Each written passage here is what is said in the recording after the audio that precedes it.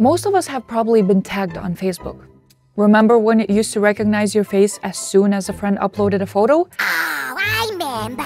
That was probably the most commonly met facial recognition technology. Well, now it's gone. The automatic tagging, I mean.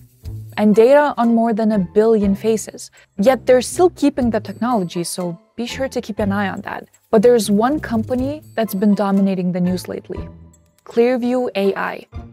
They have harvested more than 10 billion images from the internet. This allows Clearview AI customers to identify people, but that didn't seem like a great idea to multiple agencies and even countries.